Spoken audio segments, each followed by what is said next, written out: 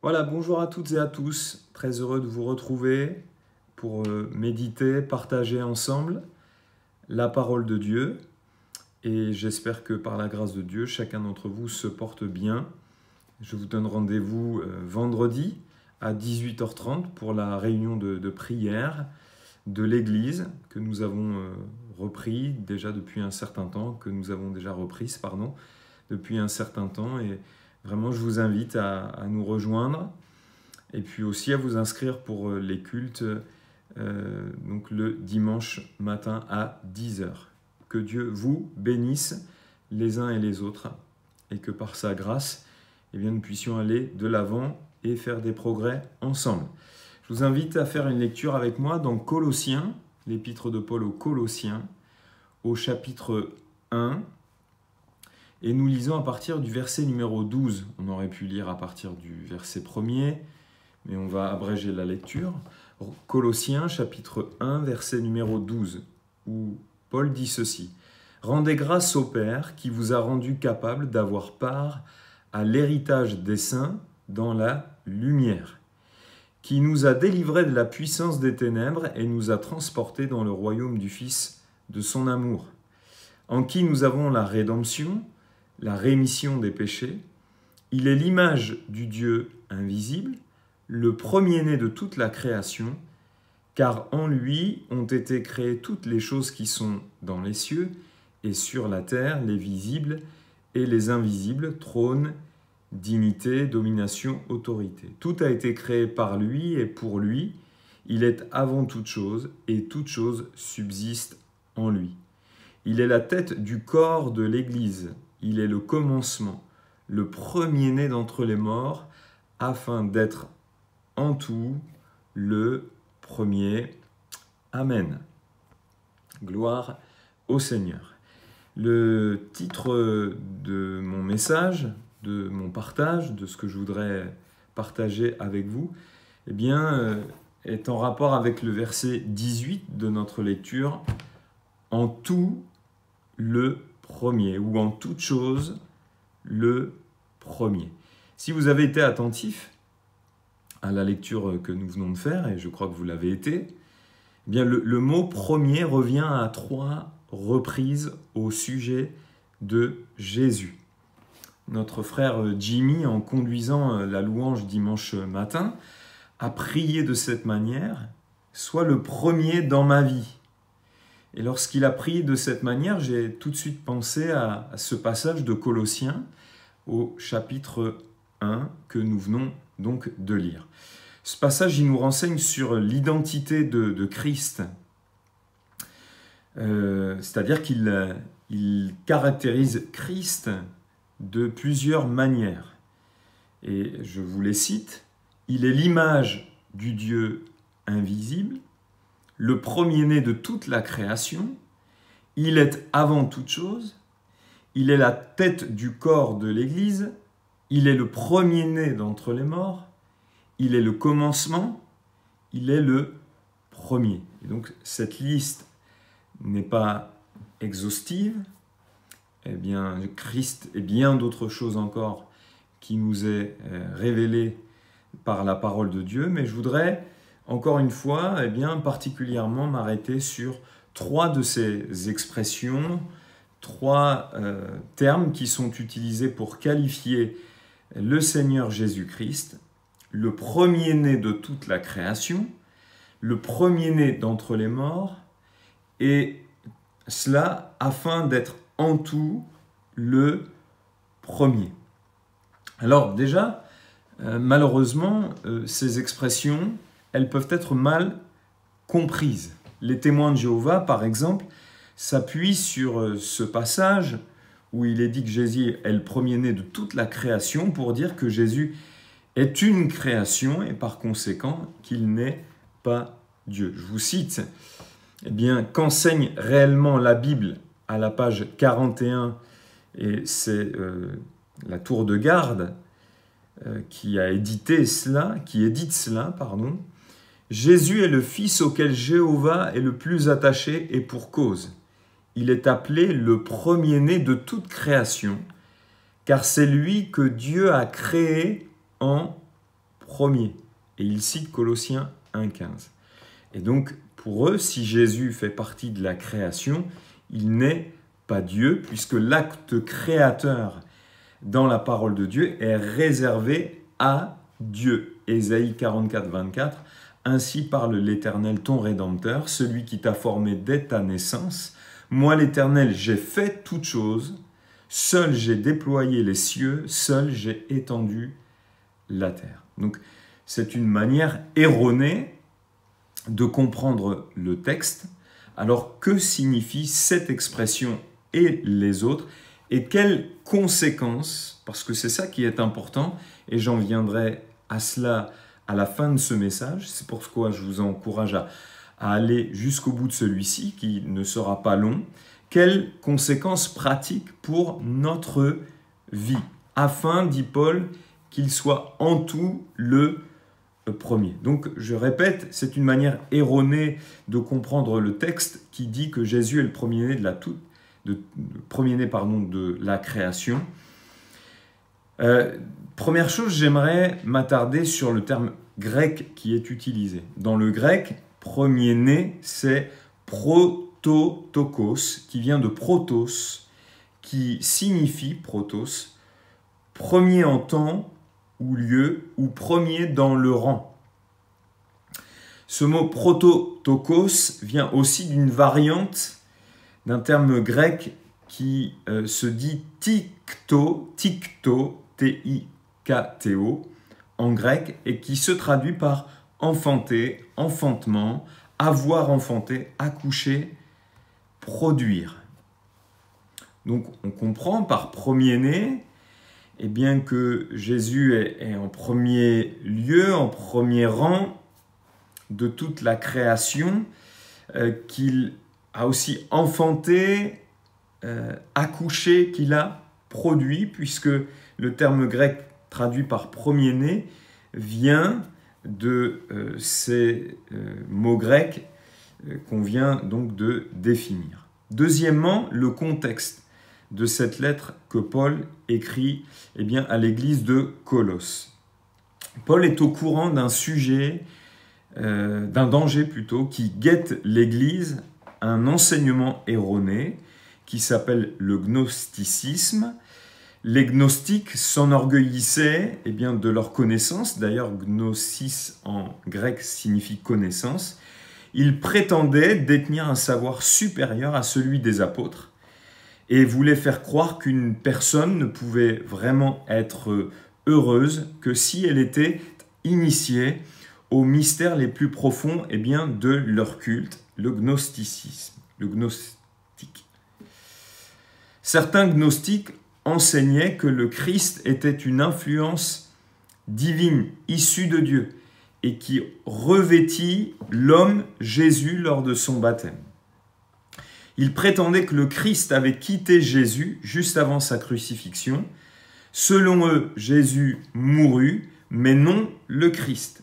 Pour certaines branches du gnosticisme, il existe entre Dieu et la matière plusieurs niveaux ou degrés d'être spirituel, sept en tout, dont Jésus faisait partie. Et pour certaines personnes de l'Église, de Colosse, qui étaient sous influence eh gnostique, Jésus était important, mais, et ce mais est dangereux, il y avait aussi d'autres émanations, selon le vocabulaire euh, de l'époque, euh, euh, ou, d'autres euh, êtres qui avaient aussi une importance, comme Jésus-Christ. Quelque part, il disait qu'il y avait Jésus, mais pas seulement Jésus. C'est toujours, voyez-vous, subtil les faux enseignements, car il y a toujours du vrai mélangé à du faux. On attrape un rat, avec du blé dans lequel on met du poison. Eh bien, c'est toujours comme ça avec les fausses doctrines. Et Paul dira un peu plus loin dans Colossiens 2.18, et ça nous montre l'enjeu qu'il y avait derrière cette euh, doctrine ou cette influence eh bien, gnostique, Colossiens 2.18, qu'aucun homme sous une apparence d'humilité et par un culte des anges ne vous ravisse. Vous voyez, il semble qu'il y ait un culte des anges. Ne vous ravisse à son gré le prix de la course, tandis qu'il s'abandonne à ses visions et qu'il est enflé d'un vain orgueil par ses pensées charnelles. Donc, euh, la deuxième chose, c'est le danger qu'il y avait pour l'église de Colosse, eh bien, d'être influencé par un enseignement euh, qui était lui-même influencé euh, par la pensée gnostique. Et puis, troisièmement, eh bien, l'explication, elle est dans le texte. Euh, je crois que la suite du texte explique clairement l'expression premier-né de toute la création. Donc, je relis Colossiens 1.15, il est l'image du Dieu invisible, le premier-né de toute la création. Verset 16, car ou parce que en lui ont été créées toutes les choses qui sont dans les cieux et sur la terre, les visibles et les invisibles, trône, dignité, domination, autorité. Tout a été créé par lui et pour lui, et même Paul ajoutera, toute chose subsiste en lui. Donc, en lui, par lui et pour lui. En lui signifie qu'il est quelque part, comme Hébreu le dit, l'architecte. Hein, la, pensée est en lui, la construction, il y a toujours un architecte à l'origine. Donc en lui, quelque part, il y a l'idée de, de l'architecte. Par lui, ça c'est le constructeur. Et pour lui, ou le créateur. Et pour lui, pour sa gloire, pour lui aussi, c'est pour lui que nous vivons. Mais retenez bien l'explication, le premier-né de la création, eh bien, nous est donné car, verset 15, ou parce que en lui ont été créées toutes choses. Donc dans, l'expression le premier-né de la création, l'explication c'est que en lui ont été créées toutes choses qui sont dans les cieux et sur la terre, les visibles et les invisibles, trône, dignité, domination, autorité. Toute chose a été créée par lui et pour lui. Donc le premier-né de la création, c'est qu'en lui, par lui et pour lui, toutes choses ont été créées. Donc en lui, c'est l'architecte, par lui, c'est le constructeur, c'est lui qui les a faites et pour lui, c'est pour lui, pour sa gloire. Et euh, aussi, eh bien, puisqu'on fait partie de la création, il ne faut pas l'oublier, c'est aussi pour lui, pour sa gloire que nous vivons, mais pour lui, pour ses intérêts, pour sa volonté. Paul nous le rappelle dans 2 Corinthiens 5, 14, car l'amour de Christ nous presse, parce que nous estimons que si un seul est mort pour tous, tous sont donc morts et qu'il est mort pour tous afin que ceux qui vivent ne vivent plus pour eux-mêmes, mais pour celui qui est mort et ressuscité pour eux. Permettez-moi de nous interpeller pour qui on vit. Est-ce qu'on vit vraiment pour lui, pour ses intérêts, pour sa volonté? Il y a des chrétiens qui remplissent les églises, mais est-ce qu'ils vivent vraiment pour, pour le Seigneur Est-ce que tu vis, toi, pour, pour Jésus? Ou est-ce que tu vis pour tes intérêts? À un moment, Paul va dire, il n'y a personne ici qui partage mes sentiments. Tous cherchent leurs propres intérêts et non ceux de Christ. Donc Paul s'attendait à ce que, eh bien, il y ait des hommes et des femmes qui vivent pour les intérêts de Christ, mais ce n'était pas le cas. Pour qui nous vivons? Pour qui tu vis? C'est une chose que de venir à l'Église, mais c'est est une autre de, de pour qui on vit en fait. Est-ce qu'on vit pour Christ? Est-ce qu'on vit pour sa volonté? Est-ce qu'on vit pour ses intérêts? Je suis persuadé que on vivra beaucoup mieux si c'est la réalité, ou que tu vivras beaucoup mieux si c'est la réalité qui caractérise ta vie. Parce que n'oubliez pas que Jésus, parce que c'est comme une perte, vive pas pour soi, mais pour lui. Non, non pas vivre pour nos intérêts, pour nous-mêmes, mais pour lui, pour Christ. Amen, ça c'est important. Et, je suis persuadé que si on vit comme ça, on vivra vraiment. Parce que euh, Paul, euh, parce que Jésus, pardon, dit euh, que celui qui voudra sauver sa vie la perdra. Mais celui qui la perdra à cause de lui, il la retrouvera. Donc, quand on perd notre vie pour le Seigneur, eh bien, c'est là qu'on la retrouve vraiment. Je disais dimanche que déjà que la vie est, pas facile et je crois qu'elle est encore plus difficile quand on s'engage pour Christ. Et on peut la rendre moins difficile en ne s'engageant pas pleinement pour, pour le Seigneur. Mais si on ne s'engage pas pleinement pour lui, eh bien, c'est un mauvais calcul parce que c'est comme perdre, euh, c'est comme euh, non pas perdre sa vie, mais on pense qu'on la gagne comme ça, mais en réalité on la perd. Mais c'est en la perdant qu'on la gagne. Amen. J'espère que vous m'avez suivi. Donc le premier-né de la création, qu'est-ce que ça veut dire? Bien ici ça nous parle de la prééminence de Christ. Qu'est-ce que ça veut dire prééminence? C'est peut-être un terme qu'on a besoin de, de comprendre. Et d'ailleurs, tout le texte nous parle de la prééminence de Christ euh, que, l'on vient de lire. Donc la prééminence de Christ dans l'œuvre créatrice, c'est-à-dire la supériorité absolue de Christ sur la création. C'est lui qui a enfanté la création. C'est à lui que revient toutes ces choses. Psaume 89, verset 7, on retrouve cette expression premier-né et moi je ferai de lui le premier-né. Ça parle de David, mais prophétiquement aussi de Christ. Le plus élevé des rois de la terre. Le terme ici est utilisé pour signifier plus élevé encore. Jésus est donc plus élevé que la création. Il en est le créateur.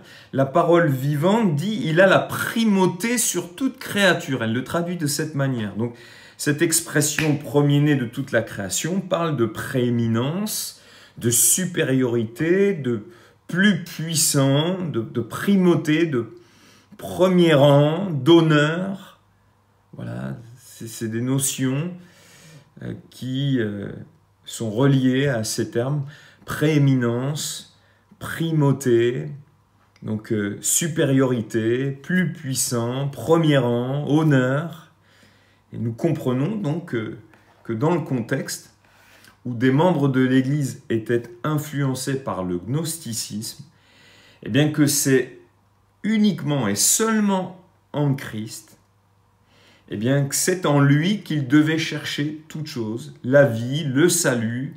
C'est en lui que tout doit être soumis, à lui, pardon, que tout doit être soumis. C'est en lui qu'ils avaient tout pleinement. D'ailleurs, on retrouve cette expression dans Colossiens, Colossiens 2.10. Vous avez tout pleinement en lui, qui est le chef de toute domination et de toute autorité.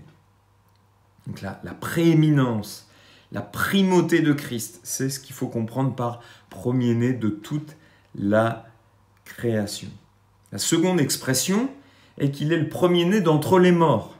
Là encore, cette expression peut être mal comprise dans le sens qu'il est le premier à être ressuscité d'entre les morts. Pourtant, nous savons qu'avant Jésus, eh bien, des morts dans la Bible, eh bien, sont ressuscités, ont ressuscité. Ils sont ressuscités, c'est vrai, mais ils sont, permettez-moi cette expression, permettez-moi de le dire de cette manière, ils sont remords. Lazare, il est ressuscité d'entre les morts, mais il est remort. Euh, la fille de Jairus, elle est ressuscitée d'entre les morts, mais elle est remorte.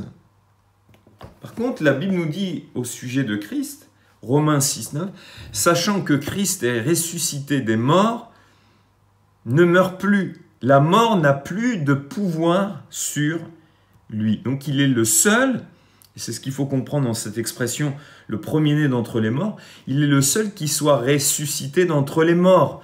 De cette manière, il ne meurt plus, il a vaincu la mort, il a la prééminence sur la mort, il est supérieur, il a la supériorité sur la mort, la primauté sur la mort, la domination sur la mort, il l'a emporté sur la mort. Voilà ce que signifie cette expression.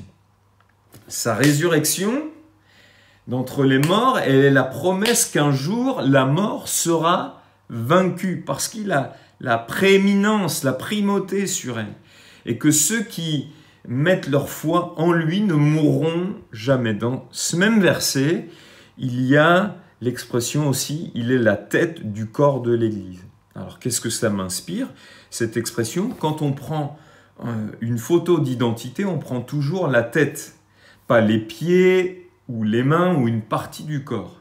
Donc du corps, ce qui doit ressortir véritablement de chaque partie même du corps, c'est-à-dire chacun d'entre nous, par-dessus tout de l'identité de l'Église qui doit ressortir, c'est Christ. On a des identités différentes d'églises, des églises qui vivent leur foi différemment, mais par-dessus ça, ce qui doit ressortir dans toutes ces choses, c'est Christ. Amen. C'est ce qu'il est. Alléluia. C'est ce qu'il fait aussi, mais ce qu'il est premièrement, parce que tout découle de ce qu'il est. Ce qu'il fait découle de ce qu'il est. Est-ce qu'au travers de l'Église, on voit Christ? Est-ce que c'est Christ qui paraît? Peu importe si les églises ont des manières différentes, mais est-ce que c'est Christ qui, qui, transpire, permettez-moi de le dire de cette manière-là? La tête aussi, c'est elle qui, qui est le centre de contrôle. Cette image suppose qu'il conduit le corps, il exerce une autorité sur lui, il permet la cohésion de ce corps, il le contrôle, il le dirige, il le met en mouvement aussi. C'est ce que fait eh bien, la tête. Amen. Christ est, à l'origine de toute l'action de l'Église. Il faut que cette action soit conduite dirigée, inspirée par la tête, par lui. Amen. Il est le commencement, donc euh, dans le même verset, Apocalypse 3, 14, comment on doit comprendre, écrit à l'ange de la Odyssée, voici ce que dit l'Amen, le témoin fidèle et véritable, le commencement de la création de Dieu. Alors comment je le comprends? Le commencement de la création de Dieu, il est le nouvel Adam, donc ce terme signifie qu'il est le début eh bien, d'une nouvelle création. Alors, l'objectif de tout ça, il est le premier-né de toute la création le premier-né d'entre les morts. Il est la tête du corps de l'Église. Il est le commencement. Donc le, but de tout cela, pourquoi Paul utilise ces expressions, c'est qu'en tout, il soit le premier. C'est-à-dire que ce texte nous parle de la prééminence ou de la primauté en tout de Christ. Voilà pour nos vies ce que ça doit vouloir dire. Il doit avoir la prééminence, la primauté. Il est supérieur à tout. Il doit être au premier rang, en premier en tout. En tout, le premier. en tout. Réfléchissons, je vous laisse réfléchir, réfléchir à ce en tout. En tout. La prééminence en tout. La primauté tout. Christ, Jésus doit avoir la prééminence en tout la primauté en tout. Alors pour nos vies, qu'est-ce que ça signifie? Quelles conséquences pratiques pour notre vie? Ben Déjà, je crois que la première conséquence, c'est tout ce qu'on trouve dans les chapitres 3 et 4 de cet épître aux Colossiens. Et je vous invite, dès ce message terminé, à relire Colossiens 3 et 4. Quand Christ a la prééminence, quand Jésus euh, est prééminent dans notre vie, ben voilà tout ce que ça va produire. Les fruits de la prééminence de Christ dans notre vie. Livrez donc à la mort et maintenez-y les aspirations qui dans votre vie appartiennent à la terre. L'immoralité, les pensées impures, les passions incontrôlées, les désirs inavouables et cet attachement au bien qui est une forme d'idolâtrie Rappelez-vous que ce sont des comportements qui attirent la colère de Dieu sur ceux qui refusent de lui obéir. Tous ces débordements, vous les connaissez bien, puisque autrefois, lorsque vous marchiez encore dans les rangs des ennemis de Dieu, c'était là votre vie. Mais voilà, ça a changé. Aujourd'hui, il, y a la prééminence de Christ. Et voilà les fruits que ça doit produire. je ne vais, pas continuer, on aurait pu continuer, mais relisez les deux chapitres, 3 et 4. Voilà ce que la prééminence de Christ aura pour fruit dans notre vie. Mais on pourrait dire aussi la prééminence de Christ ou la primauté de Christ dans mes choix. Quelle est la, la prééminence de Christ dans mes choix, dans mon temps, ou la primauté de Christ dans mon temps, dans mes finances, dans ma famille Est-ce qu'il il est supérieur à tout ça? Est-ce que Christ est supérieur à, tout? Euh, Est-ce que ça a une influence dans mes choix, dans mon temps, dans mes finances, dans ma famille, dans mes relations, dans ma vie d'église, dans ma manière de vivre, de me comporter, dans mon cœur, dans mes affections? Est-ce qu'il y a la prééminence, la primauté de Christ dans mon travail, dans mes loisirs même Est-ce qu'il y a la prééminence? Est-ce qu'il est supérieur à toutes ces choses-là? Est-ce qu'il vient en premier sur ces choses-là? Je suis persuadé que s'il y a la prééminence de Christ et la primauté de Christ, on sera plus efficace pour le reste. Amen. Est-ce qu'il est le premier? Parce que là, on va en venir à, ce qui vient en premier, même si ça dépasse euh, la primauté, mais, mais aussi la prééminence, la supériorité de Christ à tout ça. C'est Jeanne d'Arc qui disait Messire Dieu, premier servi. Est-ce qu'il vient en premier dans mes finances? Est-ce qu'il vient le premier dans mon emploi du temps? Est-ce qu'il vient en premier le matin? Est-ce qu'il est le premier que je consulte? Est-ce qu'il est le premier honoré? Est-ce qu'il est le premier recherché? Est-ce qu'il est le premier écouté? Est-ce qu'il est le premier dans nos pensées? Est-ce qu'il est le premier dans nos activités? Est-ce qu'il est le premier à qui on se confie? Est-ce qu'il est le premier à qui on parle de nos problèmes, de nos chagrins, de nos combats? Est-ce qu'il vient en premier? Est-ce qu'il a la primauté? Est-ce qu'il est prééminent dans ma vie? Est-ce qu'il vient en premier lieu, en premier rang? Est-ce qu'il est supérieur à, tout le reste? C'est ça que ça veut dire. Afin qu'en tout, il soit le premier. Mon frère, ma sœur, je termine par euh, cette conclusion donc. Premier-né de toute la création, premier-né d'entre les morts, c'est l'idée d'une prééminence en tout de Christ dans notre vie. Il est supérieur à tout, mais aussi l'idée de primauté, il vient en premier, en premier lieu. Amen. Posons-nous cette question et demandons au Saint-Esprit de nous éclairer.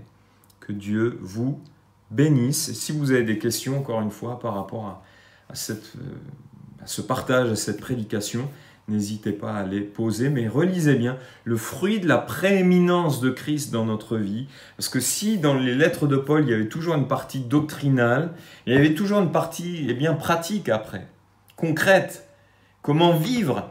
Eh bien, si Christ a la prééminence dans notre vie, voilà les fruits que ça va produire eh bien, au quotidien. Donc relisez eh bien, Colossiens 3, 4, que Dieu vous bénisse. Et je termine par la prière.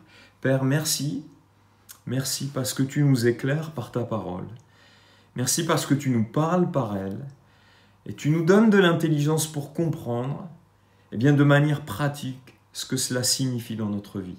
Et s'il y a des choses à corriger, parce que l'écriture est utile pour enseigner, pour instruire, pour corriger, s'il y a des choses à corriger dans notre vie par rapport à cette prééminence, cette primauté de Christ, cette supériorité de Christ en toutes choses, eh bien viens nous éclairer et accorde-nous la sagesse et la grâce de faire les changements, les corrections nécessaires. Au nom de Jésus. Amen.